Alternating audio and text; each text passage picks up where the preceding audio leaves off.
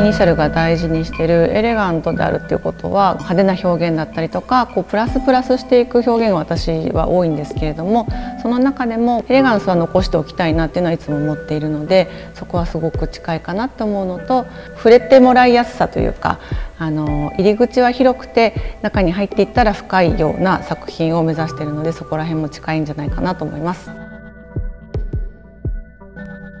色に関して言うと加工してるとかっていうわけではなくてあの今回の作品もあの桜だったりとかあの自然界にあるものの写真なのでそういう世界の中からあの美しい色だったりとか美しい瞬間を切り取ることがとても好きです。で割とこうあんまりこう普通に過ごしているといろんな色が世界にあるっていうことは見過ごしがちなんですけれども注意深く見ていくとこう世界は結構色にあふれているし美しい瞬間ってたくさんあるのでそういうことを見つけられたらいいなと思ってます。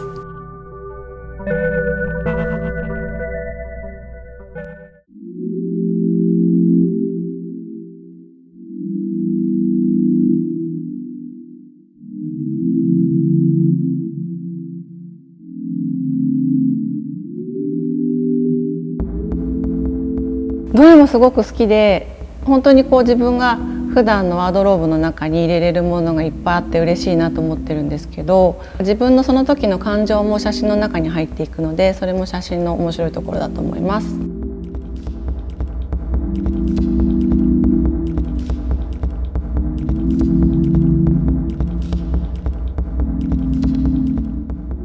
今回のコラボはとてもやっぱり幸せなコラボレーションであの本当に全てが自分が着たいものになったなと思っていてあそういうこう素敵な出会いが国を越えてできたことをとっても嬉しく思ってます。皆さんが楽しんできてくださったらとっても嬉しいです。